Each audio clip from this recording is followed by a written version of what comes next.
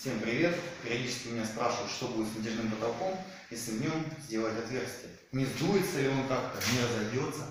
А, Хочу продемонстрировать вам этот момент.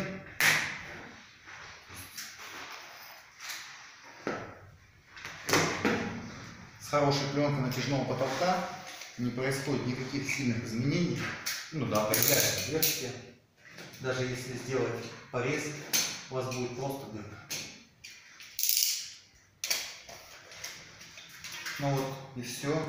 Спасибо за просмотр. Подписывайтесь на канал. Всем пока.